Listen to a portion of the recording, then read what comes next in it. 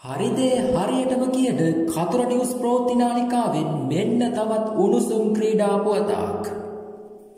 ඉන්දියාව හා පැවැත්වීමට නියමිත සීමිත පන්දුවාර තරගාවලියට අදාළ තරග සංචාර කොන්ත්‍රාත්තු අස්සන් කිරීමට ශ්‍රී ලංකා ක්‍රිකට් ක්‍රීඩකින් කීප දෙනෙකු කටයුතු කර ඇති බව සඳහන් වෙනවා.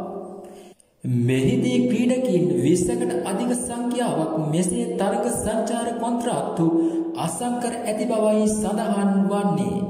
එංගලන්ත සංචාරයට එක්ව සිටි ක්‍රීඩකින් කීප දෙනෙකුද මෙසේ කොන්ත්‍රාත්තුවට අසංකර ඇති බව වැඩිදුරටත් සඳහන් වෙනවා.